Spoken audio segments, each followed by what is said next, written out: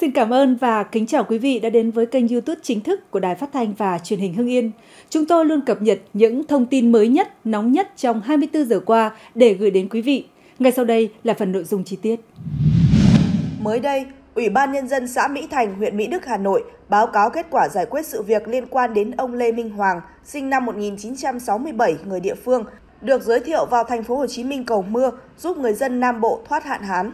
Theo báo cáo, khi nhận được thông tin phản ánh từ dư luận, Ủy ban Nhân dân xã Mỹ Thành nhận thấy sự việc nếu không được xử lý kịp thời sẽ ảnh hưởng đến an ninh tôn giáo, mất trật tự xã hội. Đơn vị đã chỉ đạo lực lượng công an xã lập tổ công tác mời ông Hoàng đến trụ sở để làm rõ những nội dung liên quan. Tại Ủy ban Nhân dân xã, ông Hoàng trình bày, nhiều năm trước đây, ông tự nhận thấy bản thân có khả năng đặc biệt, có thể cầu xin mưa thuận gió hòa, mùa màng tươi tốt, cầu xin cho giảm thiên tai cho nông nghiệp. Ông cho biết đã cầu nguyện xin giảm thiên tai, mưa gió thành công cho xã Mỹ Thành trong năm 2022-2023. Sau đó, ông tự tổng hợp lại thành báo cáo giảm lúa đổ ngã do gió bằng cách cầu nguyện xin để gửi cho một số tổ chức cá nhân, trong đó có công văn do tiến sĩ Nguyễn Hoàng Điệp ký giới thiệu ông Lê Minh Hoàng đến Tri cục Thủy lợi thành phố Hồ Chí Minh. Ông Hoàng thừa nhận với công an, số liệu ông dẫn chứng trong báo cáo trên chưa có bất kỳ cơ quan chức năng có thẩm quyền nào kiểm chứng xác thực. Ông cũng đã gửi đơn đến các cơ quan tổ chức để xin rút lại báo cáo. Về ông Đinh Quang Hải, Giám đốc Hợp tác xã Nông nghiệp Mỹ Thành, người ký văn bản báo cáo trên của ông Lê Minh Hoàng cũng nhận sơ suất cá nhân không có vụ lợi. Ông Hải đã nghiêm túc kiểm điểm, rút kinh nghiệm sâu sắc. Báo cáo nêu, Đảng ủy, Ủy ban Nhân dân xã Mỹ Thành sẽ tổ chức kiểm điểm, làm rõ mức độ vi phạm của Hải để báo cáo huyện ủy, Ủy ban Nhân dân huyện Mỹ Đức. Trước đó, trả lời các cơ quan báo chí liên quan đến khả năng cầu mưa của ông Lê Minh Hoàng, các chuyên gia đều khẳng định đây là chuyện buồn cười, thiếu căn cứ khoa học. Tới thôn Phú Khuê, xã Bục Xuyên, huyện Mỹ Đức, thành phố Hà Nội, khi hỏi về ông Lê Minh Hoàng, người có khả năng cầu mưa cho thành phố Hồ Chí Minh và các tỉnh phía Nam, thì dường như ai nấy cũng đều biết đến.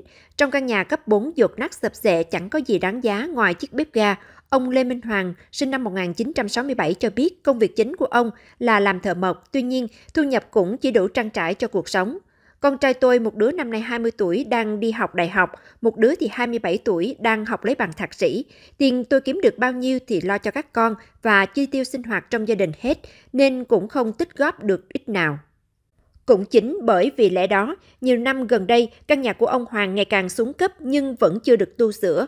Ông Hoàng nói, tôi nhiều lần cũng muốn tu sửa lại căn nhà, nhưng chi phí tốn kém, tôi không có tiền nên đành ở tạm. Khi được hỏi về khả năng cầu mưa, ông Hoàng cho biết năm 2000, ông nhận thấy bản thân có khả năng đặc biệt này nhưng mãi đến năm 2004 mới rõ. Sau đó ông Hoàng nghiên cứu ở Mộc Châu một thời gian rồi trở về Hà Nội nghiên cứu tiếp khả năng đặc biệt của bản thân. Tôi từng đi cầu nguyện xin mưa ở nhiều nơi. Năm 2013, tôi đi vào Quảng Nam Đà Nẵng. Năm 2015, tôi vào Lâm Đồng. Rồi đến năm 2019 vào Bến Tre. Mỗi lần đi, tôi đều tự kiểm định về kết quả của bản thân, ông Hoàng chia sẻ. Thế nhưng những năm gần đây, ông Hoàng mới biết cần phải có giấy xác nhận cấp phép về khả năng đặc biệt này.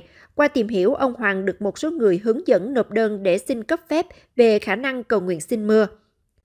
Họ bảo tôi phải lập lên một cái đề tài xong trình lên nhà nước. Khi được nhà nước phê duyệt thì tôi đi đâu cũng thuận tiện. Sau đó tôi có gửi đơn lên cơ quan có thẩm quyền để xin được cấp phép nhưng không được. Giờ không có giấy tờ, tôi đi vu vơ như này dễ khiến mọi người hiểu lầm, tưởng tôi đi truyền bá trái pháp luật. Ông Hoàng cũng cho hay, khoảng thời gian gần đây tôi có đến nhờ tiến sĩ Nguyễn Hoàng Điệp, Giám đốc Trung tâm Dịch thuật Dịch vụ Văn hóa và Khoa học Công nghệ thuộc Liên hiệp các hội khoa học và kỹ thuật Việt Nam, thì được giới thiệu với Chi cục Thủy lợi Thành phố Hồ Chí Minh. Tuy nhiên, do chưa được kiểm chứng nên những đề xuất trong thời gian qua của tôi không được chấp nhận. Nhận xét về bản thân ông Hoàng, bà Xoa 65 tuổi, một người dân thôn Phú Khuê cho biết, ông Hoàng hiền lành, dễ gần nhưng có hoàn cảnh đặc biệt khó khăn. Khi được hỏi về khả năng cầu nguyện xin mưa của ông Hoàng, thì người phụ nữ này cho rằng bà từng được nghe kể nhưng chưa thấy người đàn ông này cầu nguyện xin mưa bao giờ. Ông Lê Đình Luận, 70 tuổi, anh trai ruột của ông Lê Minh Hoàng chia sẻ, ông Hoàng trước có nghiên cứu ở trên Mộc Châu một thời gian rồi về làm việc ở Hà Nội. Ông Luận cho hay, em trai tôi thi thoảng có đi mấy hôm mới về nhưng tôi không rõ đi đâu. Tôi cũng không biết Hoàng có khả năng cầu nguyện xin mưa được không, nhưng nếu cầu nguyện được thì đó là điều tốt giúp ích cho mọi người. Bên cạnh đó, vợ ông Luận cho biết ông Hoàng là một người tính tình thoải mái, hiền lành và thường hay giúp đỡ mọi người. Khi tìm hiểu, một số hộ dân gần nhà ông Hoàng lại cho hay không biết về khả năng cầu nguyện xin mưa của người đàn ông thợ mộc này. Tòa án Nhân dân Thành phố Hồ Chí Minh vừa mở phiên tòa xét xử lại vụ kiện quyết định hành chính giữa nguyên đơn là bà Nguyễn Thị Sáu với bị đơn là Chủ tịch Ủy ban nhân dân huyện Nhà Bè và Chủ tịch Ủy ban nhân dân Thành phố Hồ Chí Minh liên quan thu hồi bồi thường đất nông nghiệp giá 25.000 đồng một mét vuông. Phiên tòa được mở lại sau khi bản án hành chính sơ thẩm trước đó của Tòa án nhân dân thành phố Hồ Chí Minh bị Tòa án nhân dân cấp cao tại thành phố Hồ Chí Minh tuyên hủy và chuyển hồ sơ xét xử sơ thẩm lại. Theo nội dung vụ kiện, bà Nguyễn Thị Sáu có 3.625 m2 đất trồng lúa tại ấp 4, xã Phước Kiển, huyện Nhà Bè, thành phố Hồ Chí Minh. Nguồn gốc đất do ông bà để lại từ năm 1973 và trồng lúa ổn định, không có tranh chấp. Năm 1994, bà Sáu được Ủy ban nhân dân huyện Nhà Bè, thành phố Hồ Chí Minh cấp giấy chứng nhận quyền sử dụng đất và sử dụng liên tục, không có tranh chấp. Năm 2003, phần diện tích 3.000 m2 của bà Sáu bị thu hồi trong tổng diện tích 87,55 ha đất dọc đường Nguyễn Hữu Thọ với giá bồi thường là 25.000 đồng một mét vuông. Bà Sáu không nhận được quyết định thu hồi đất theo quy định, không đồng ý nhận bồi thường với mức giá theo bà là một mét vuông đất tương đương giá một tô phở và bắt đầu khiếu nại yêu cầu nâng giá bồi thường. Sau nhiều lần trả lời, Ủy ban Nhân dân huyện Nhà Bè đã bác các khiếu nại của bà Sáu, tiến hành cưỡng chế thu hồi đất của gia đình bà và giao đất cho một công ty bất động sản.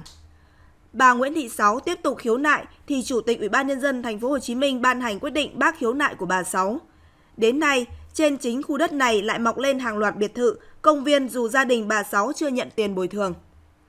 Trình bày tại tòa, đại diện theo ủy quyền của bà Nguyễn Thị Sáu yêu cầu hội đồng xét xử hủy các quyết định giải quyết khiếu nại và quyết định về việc cưỡng chế, buộc Ủy ban nhân dân huyện Nhà Bè phải bồi thường theo giá thị trường, hủy giấy chứng nhận quyền sử dụng đất do Ủy ban nhân dân thành phố Hồ Chí Minh cấp cho công ty Phú Long.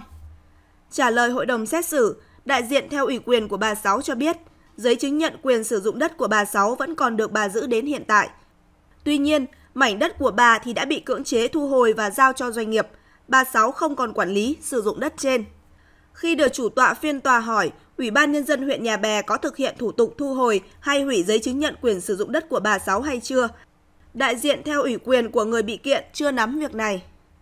Đại diện người bị kiện cho biết thêm, diện tích đất của bà Nguyễn Thị Sáu bị thu hồi thuộc hai dự án nhưng cùng một phương án thực hiện gồm dự án đầu tư xây dựng đường nối từ đường Bình Thuận đến khu công nghiệp Hiệp Phước và dự án tạo quỹ đất đô thị cho thành phố.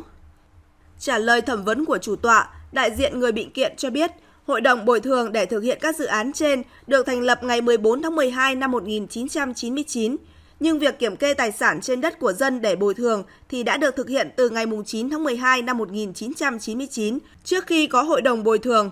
Dù công tác thực hiện không đảm bảo trình tự thủ tục theo quy định, nhưng đại diện người bị kiện vẫn khẳng định là không sai luật vì thời điểm đó không chú trọng thời gian, trình tự.